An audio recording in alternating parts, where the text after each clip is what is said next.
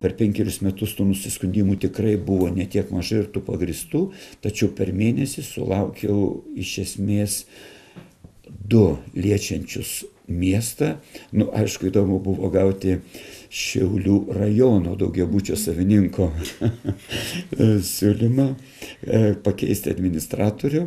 Tai aišku ne mūsų kompetencija tai mes pasakėme kad per adresavom tą laišką kad jis turėtų kreiptis į šiaulių rajono savivaldybės administracijos direktorių.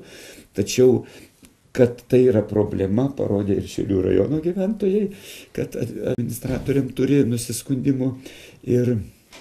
malonu buvo kaip sakyt priimti kaip komplimentą šitą raštą tačiau tikrai jis ne mūsų o iš miesto gavome tiktai du.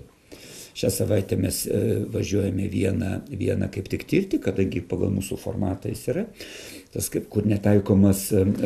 kolektyviškumas tas vienos penkto penktosios statusas. Tai mes iš išanalizuosim jeigu yra tikrai tie nusiskundimai pagrįsti tai tada yra įjungsim tą procedūrą kad šauksim to namo savininkus į susirinkimą kad jie darytų patys išsirinktų jeigu neišsirinks mes tada paskirsime. Taigi matydami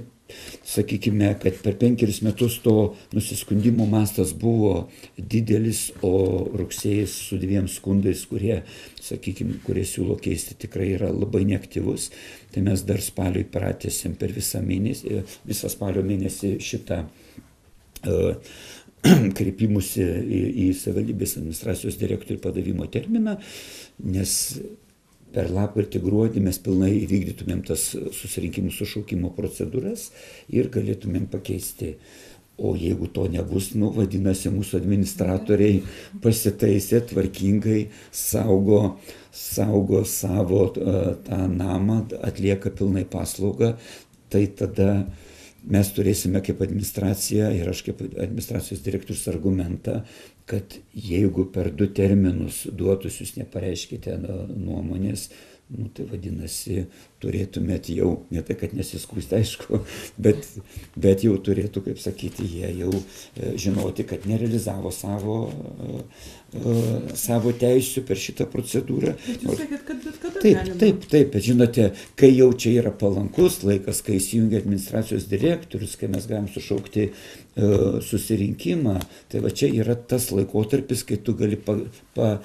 palengvintų būdų išspręsti va šitą permesdamas problemą jau direktoriui vyriausias direktorius šitą visą turi daryti